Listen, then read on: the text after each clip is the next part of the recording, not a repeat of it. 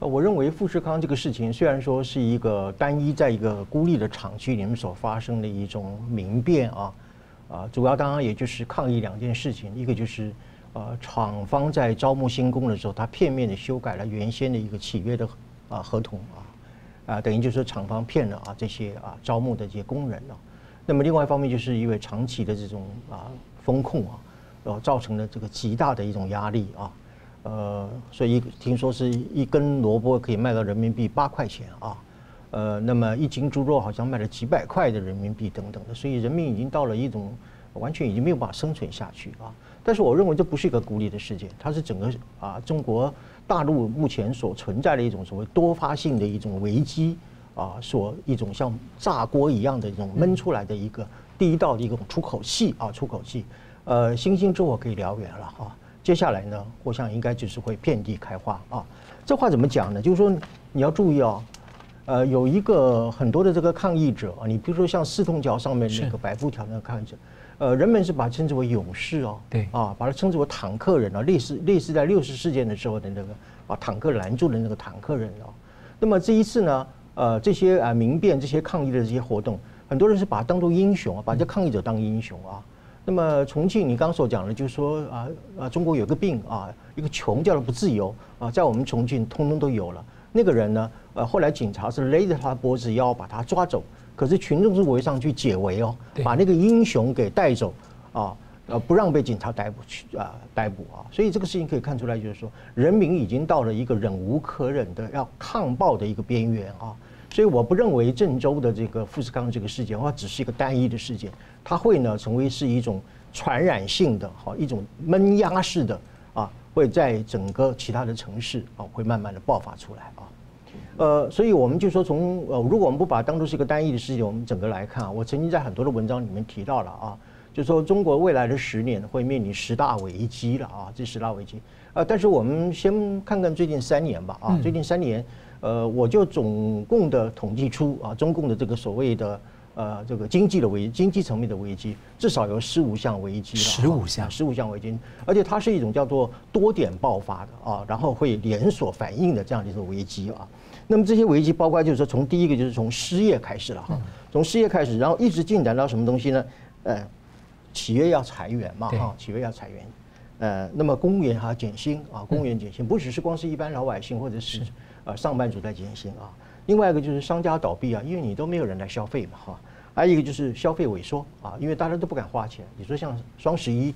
业绩零成长啊，而且很多的这个交易的项目基本上都是低档的，呃，抢菜啊，抢肉啊，而且生活必需品的抢购不是以前那种啊，这个珠宝钻石的这个抢购啊。呃，另外一个就是房地产泡沫化，这个我们打也，从恒大事件开始到现在啊，那么。进出进出口也在下降，下降，贸易额也在下降啊，然后顺顺差也开始短少啊，还有股市下跌啊，还有就是金融脱序啊，什么叫金融脱序？前阵子这个停贷的呃停贷的这个风暴，对，呃这个银行的这个资金流都不足，负债率过高等等，这个这个都会产生未来极可能一种金融的风暴了哈。那么还有就财政失血啊，呃这个统计局已经啊公布了啊，全中国所有的地方的政府全部赤字啊。呃，连上海都赤字到十八亿以上人民币的这样一个赤字，上海是一个多么繁荣的一个城市，从来没有出现过赤字啊！所以全中国大陆所有的地方政府都是财政都是负字啊，都是赤字的啊。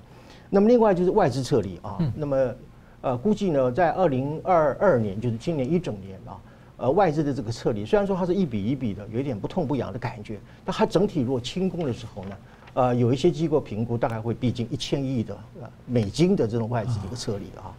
呃，另外就是这个呃外企的撤离，现在包括台商都想离开中国大陆了啊。呃，那么接下来呢，就是人民币贬值啊，还有最终就是啊这个外汇的一个减少。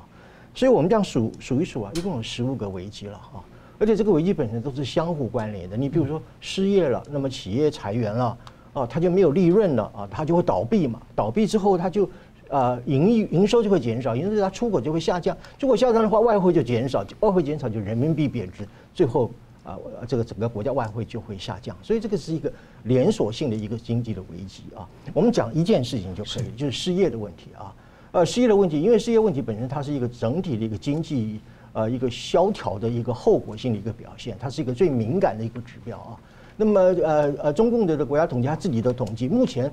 十六到二十四岁的年轻人失业率它是差不多十七点八或者是十八点多多一点这样一个比例了啊。呃，但是这个比例显然是有一点点这造假啊，或者是被低估啊？为什么呢？因为农村的青年他没有算进来啊，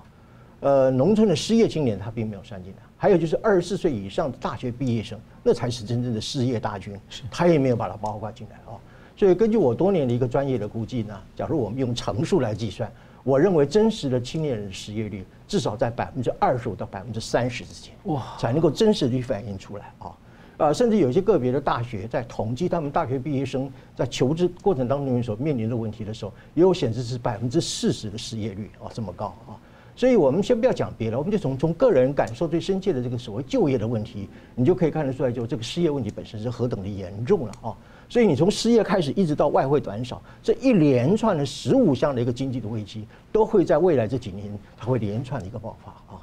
呃，所以你说在这样的一种环境之下，我觉得就是说，譬如说我们用总体的一个 GDP 来讲哈，伦敦经济研究院啊，就是说，呃，未来的这个十年哈，那么中共的这个 GDP 啊，顶多是百分之四点五了，不会超过这个一个数字啊。那么再过十年的话，呃，到了二零四零年左右的话。呃，那么中国的 GDP 最多是百分之三啊，或者是百分之三点五啊，所以那个时候，呃，中国是不是能够继续维持所谓的第二大经济体啊？甚至认为就是说要在二零四零年要超越美国成为一个世界第一大经济体，我看这个这个梦想已经没有办法达到了啊，完全不可能了。呃，所以有人估计，就二零四零年的时候，中国的人均 GDP 大概只有在美国二零四零年的时候的 GDP 的三分之一以下啊。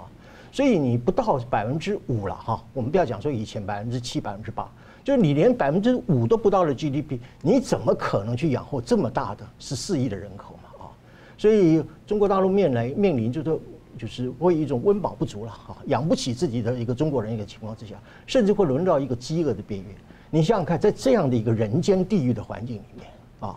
呃，那么有病毒随时会来侵害我的生命。然后有大白有警察这样子来把我强制驱离，甚至我如果有所抱怨的时候，把我绑着。你看那个广州那个是吧？把那两个女孩子绑在后面啊，然后跪在那个地上啊。然后你看那个画面，警察用警棍打人，用喷水器、用辣椒水来对付人民。在这种人间地狱当中，里面没有一人可以活得下去啊。